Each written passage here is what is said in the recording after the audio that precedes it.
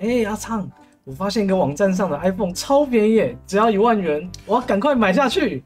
等一下，那个是网络诈骗呐！嗯，为服部防疫补贴，这个不错，我要赶快分享给好友。哎，等一下，等一下，那个是网络谣言呐，你不可以乱散布哦。群组里面有个好康的网站哎，这个链接我要赶快点下去。等一下，等一下，不明的链接不要乱点哦，会中勒索病毒。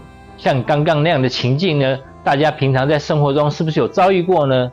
我相信大家也都遇过，对不对？可是该怎么办呢？而这些有关于资讯安全的资讯，我们要去哪里学？哎，现在呢？